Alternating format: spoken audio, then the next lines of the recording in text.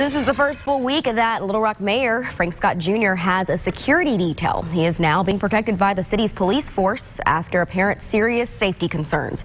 Isabella Moeller joins us live now in studio to explain. Isabella. Good morning, Ashley. Yeah, the mayor tells us the police department is the one who recommended the protection.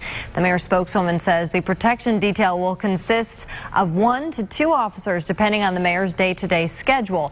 In a statement, the mayor says in part, quote, I have been made aware of serious safety concerns concerns. It is critical to me that I remain accessible and approachable to the people of Little Rock, but I feel that it is equally important that I respect the professionals of the Little Rock Police Department.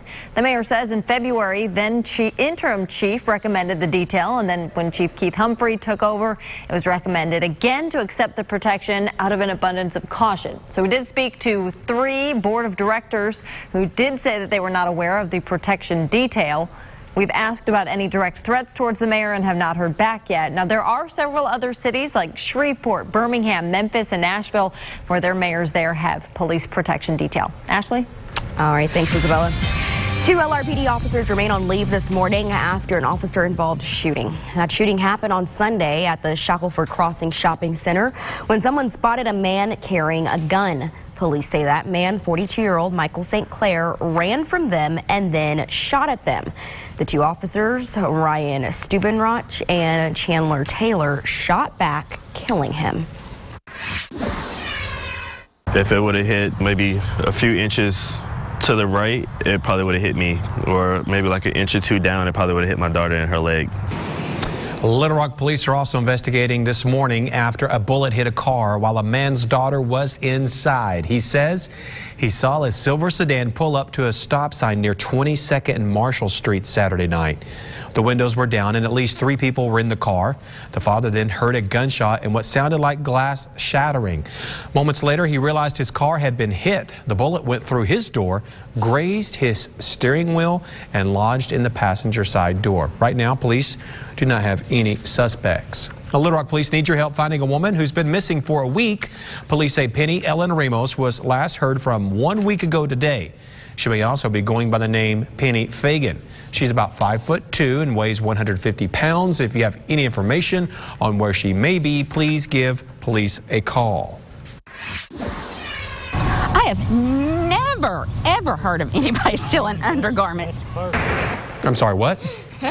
A suspected underwear thief arrested in Russellville. Yes, as Tyler Thomason explains, it's a story that has this tight knit community uncomfortable. Wheels turn, and so do heads. I little boy's having a good time. On a day like this, Russellville's City Park can bring out a crowd. It's been nice to watch all the children out today, you know. Carla Langford visits with her uncle on a bench. The lively scene sits just across the way from where police say a neighborhood break in went below the belt. I've never really heard of anything like that. Russellville police arrested Luis Bernal Lopez back on April 14th after authorities say he forced his way into a neighbor's attic here on G Street, then stole several pairs of her underwear. That eh, makes me uncomfortable. I definitely would be concerned somebody wanting my undergarments. According to a police report, Bernal Lopez entered his neighbor's duplex attic by breaking down a wall that connected his and hers. The neighbor told police she noticed a towel rack in her bathroom was bent and insulation had spilled onto the floor. Police say after searching Bernal Lopez's apartment, they found six pairs of women's underwear a suspected invasion of privacy. It makes you think, what kind of people do we really have? That people like Carla say hits too close to home. The suspect, Bernal Lopez, has since bonded out of the Pope County Jail and he faces burglary and criminal mischief charges. These dogs in Malvern need new homes by the end of the week or they could be euthanized. The Malvern Animal Shelter announced it will temporarily close after Friday, so it's pushing to get all the pets fostered or adopted. According to the city's police department, staffing issues are causing the shelter to close for two weeks. Police say while the shelter is closed, it will still take in dogs considered vicious. Next school year, many elementary students across the state will get double the recess time. A new law increases playtime from 20 to 40 minutes a day. I'm sure kids are happy about that.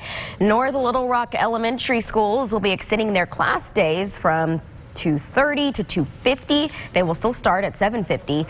Principals and their staff will decide how to split up the 40 minutes of playtime. Some will extend lunchtime recess by 10 minutes and have another 10 minutes at the end of the day.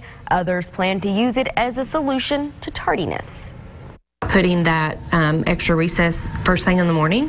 So that can be an, an incentive to get kids to school on time. Um, and then if they are a little bit late, it's not taking out of instruction. Some schools are still discussing how they plan to implement the new law into their daily schedule. New Orleans has Bourbon Street, Memphis has Beale Street. Could Arkansas be next? There's a new law that will allow cities and towns across the state to pass their own ordinance to create an entertainment district. Visitors could carry and could carry and drink alcohol on the streets and sidewalks permanently or on a temporary basis, like at an event or festival. The mayor of North Little Rock says this issue has come up several times over the years. Now he is planning to cautiously move forward. We don't want to turn uh, our downtown uh, entertainment district into Bourbon Street for sure. Uh, but we're going to look at our options to try to figure out what's going to enhance the uh, experience of coming to our entertainment district. North Rock and some other cities plan to meet to discuss the new law sometime within the next month. All right, 808.